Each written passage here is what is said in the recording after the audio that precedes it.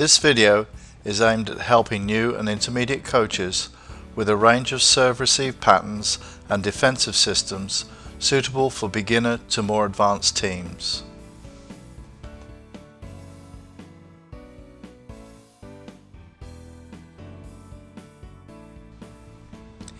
Here we see the younger players showing the basic clockwise rotations that occur each time the team regains the right to serve after a side out.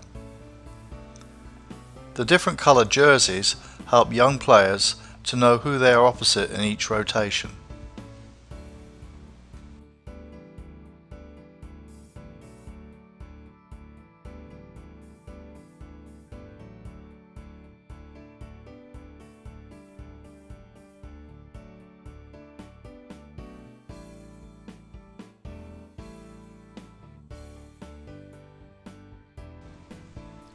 Players must be in the correct rotational order when a serve takes place.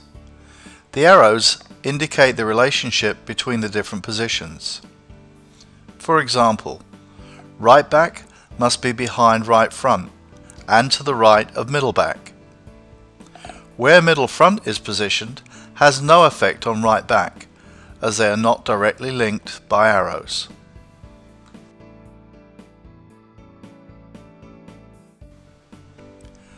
This lineup has two players overlapping. Can you pick them out? You have 10 seconds.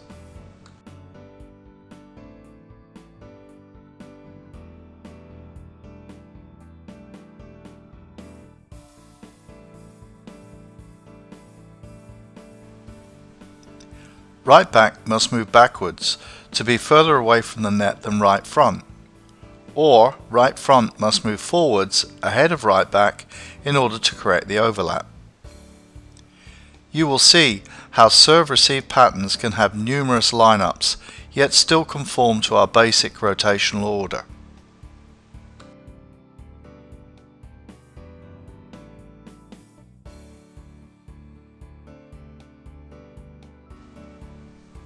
The first and simplest formation we will look at is known as a 6-6 W receive with a middle front setter. 6-6 means all six players will hit and take the role of the setter when in middle front. The right front and left front players drop back to receive the serve and middle back moves up slightly to form a W receive pattern.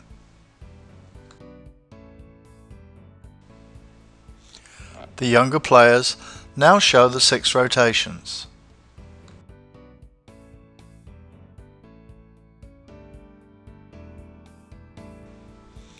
See how the coach makes positional corrections to help the team. In the W receive, it is very common for right or left back to hide directly behind right or left front, as we see here.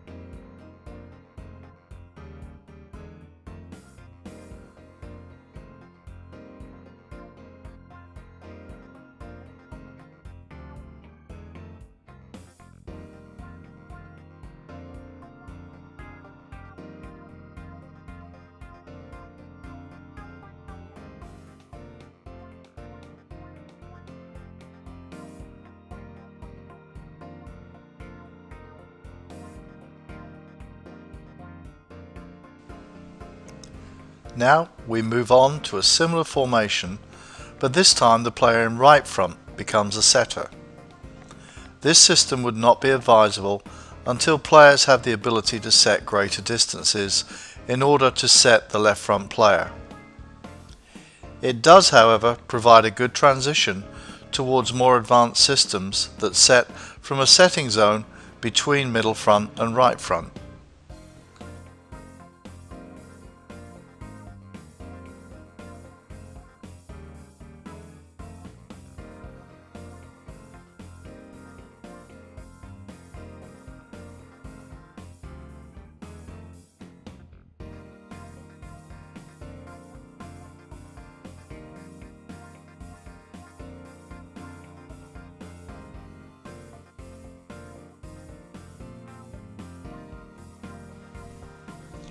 A 4-2 formation means that there are four hitters and two designated setters. This will require players to switch positions after the serve takes place. The primary setter is the setter in the back row, so the option of three front row attackers is possible. The setter cannot move to the net before the server has started their serve.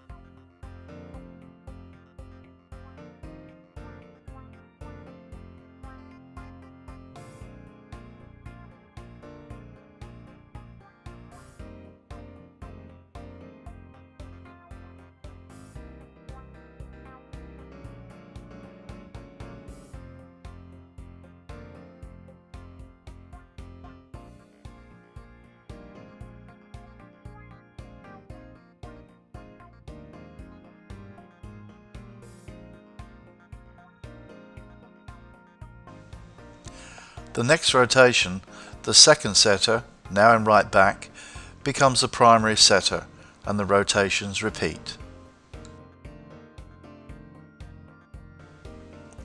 A 6-2 formation means that there are six hitters and two setters.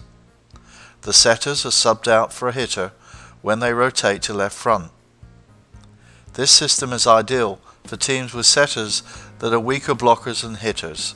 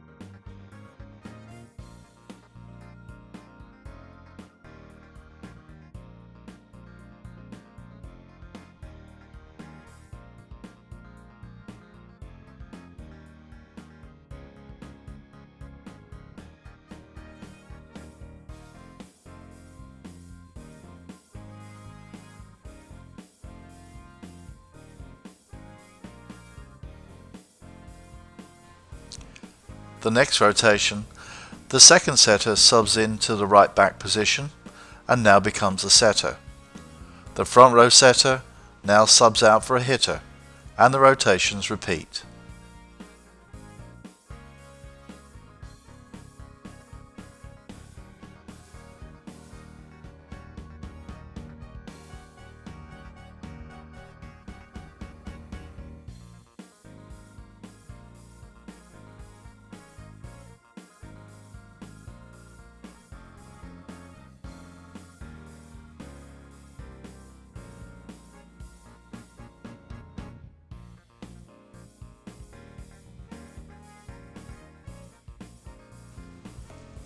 A 5-1 formation means we have 5 hitters and 1 setter who sets every rotation.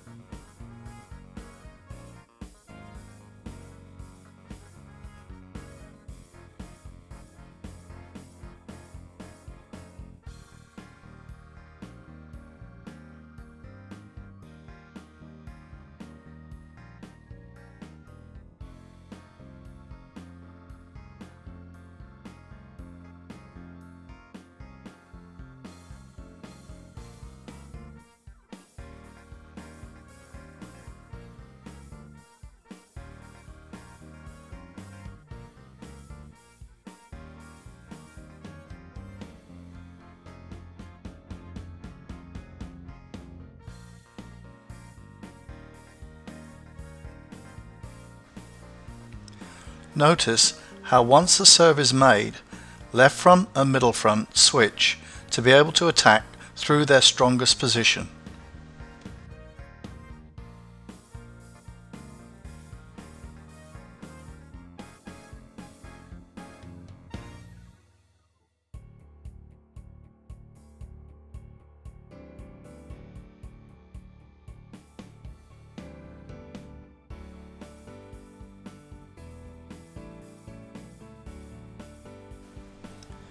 This time, right front moves around the setter to be available to attack through the middle.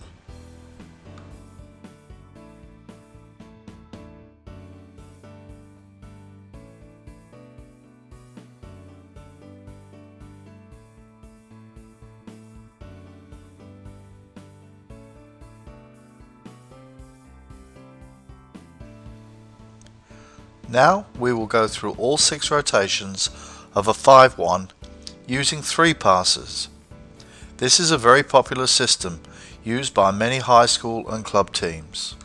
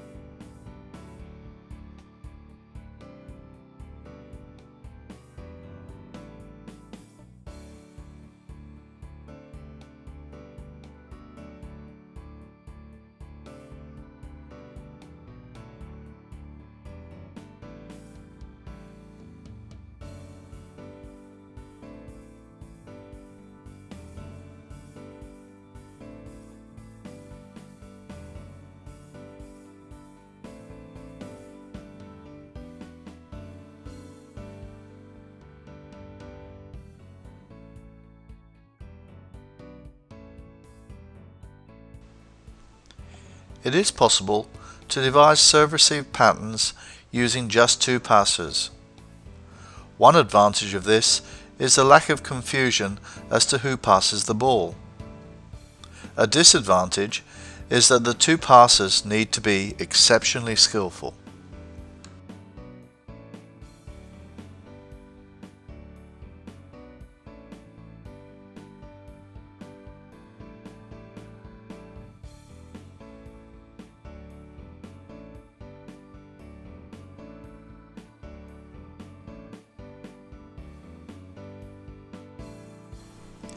It is possible to try to deceive your opponent into thinking you have a back row setter. Here you see the setter is in right front and left back is looking like the left front attacker.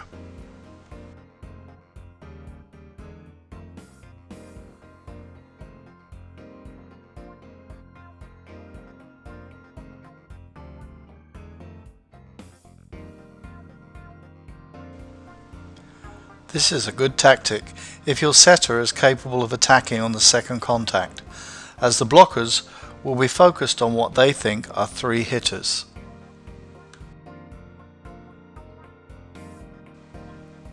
Here, we try to hide a weak passer without making the opponent aware of this. Note the potential for an overlap between left front and left back in this example.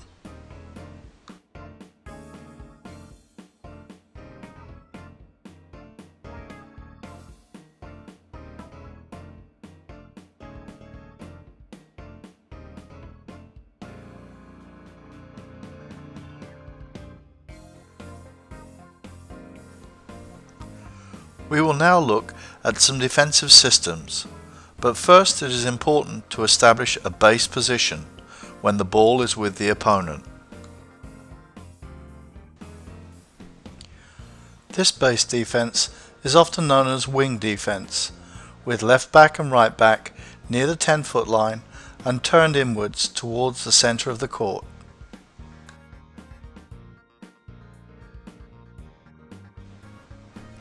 And here we see a man-up defense, where middle back is the player near the 10 foot line and responsible for tips. Remember, choose the system that best suits your team. For example, man up helps teams that have difficulty reading tips or off-speed attacks.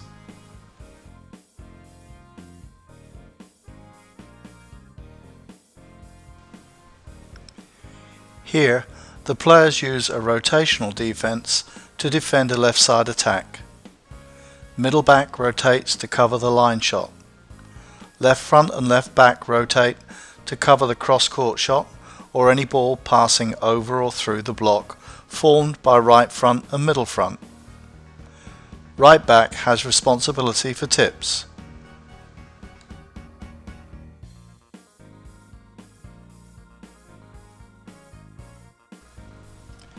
A perimeter defense used here to defend a right side attack has the right front and right back players digging the cross court shot. Middle back has the seam between the two blockers and left back moves to cover the line shot or tips. Right front may also help out with the short tips and it is essential that both players are capable of reading and reacting to the short tip ball.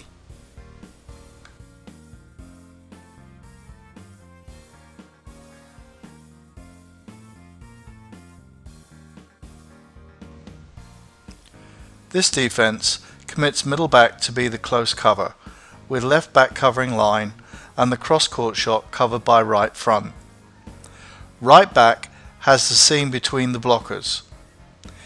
If the opponent seldom hits line, then left back can cover the seam of the block and free right back to help out with the cross court shots.